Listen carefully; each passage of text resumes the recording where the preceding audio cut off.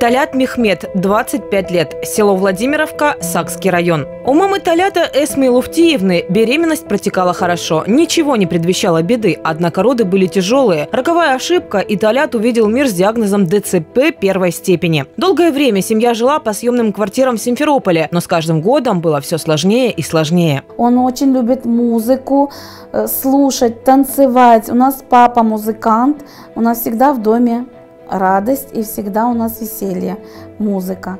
Из-за этого ребенок привит с детства к музыке.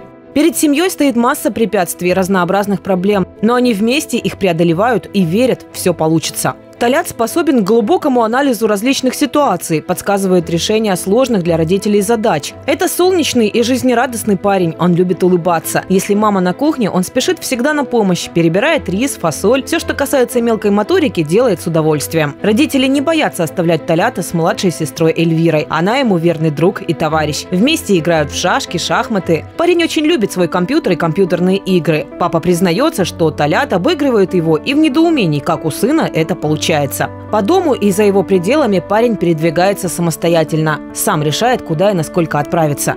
Летом все время проводит на улице. Зимой Толят привязывает санки к коляске и катает местных ребят с горки. В прошлом году парень побывал на церемонии общественного признания «Преград нет», которая оставила массу ярких и приятных впечатлений. Толят очень дорожит этой наградой и фотографиями, где он вместе с главой Республики Крым Сергеем Аксеновым. Не у каждого найдутся такие в архиве.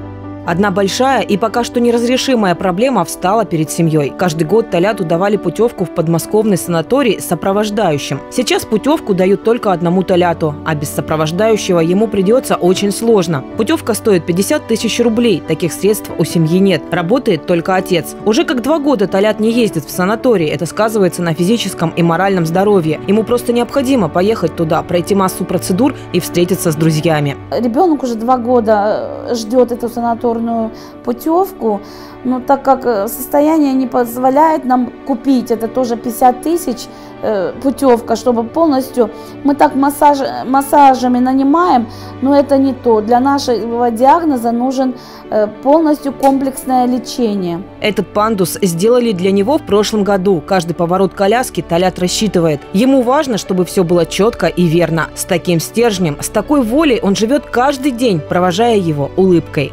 Очень хочется верить, что для Толята и его семьи никаких преград нет.